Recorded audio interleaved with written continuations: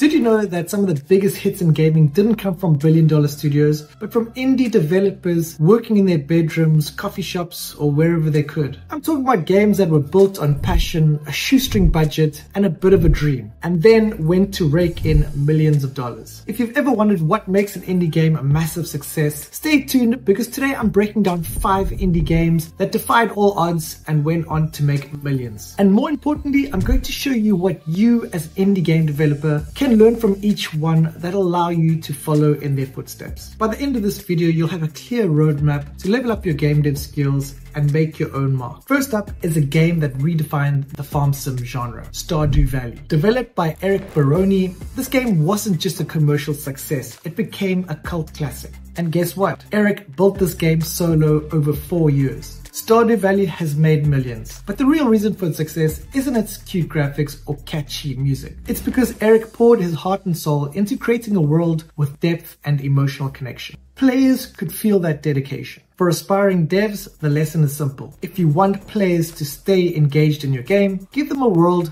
they'll want to keep coming back to. Next, Let's talk about Hollow Knight. This action adventure game by Team Cherry didn't have a massive budget, but didn't need to. It's challenging, polished, and addictively fun with tight gameplay mechanics that allow players to feel every hit and jump. Team Cherry spent a lot of time perfecting the combat mechanics, pacing, and the overall game flow. And it paid off. The lesson here, focus on gameplay first. Fancy graphics are great, but if your core gameplay isn't rock solid, players won't stick around. You've probably heard of Among Us. This game sat under the radar for over two years before it exploded into a massive hit. What changed? Community and content creators. When streamers started to play it during the pandemic, the game's popularity skyrocketed. Among Us shows us the power of community and social proof. So, if you're working on a game, think of ways to create something shareable that YouTubers and streamers might want to play. Sometimes it only takes one key community to blow up your game. Now, let's switch gears to one of the simplest games on this list, Flappy Bird. Developed by Dong Nguyen, it's an ultra simple game that generated massive profit profits from ads in just a few short months before he pulled it from the App Store. The game's just one more trifactor made it wildly addictive. What can you learn from it? Simplicity sells. Don't get too caught up in making things complicated. If your game has a satisfying loop, it'll keep players coming back for more. Last but not least,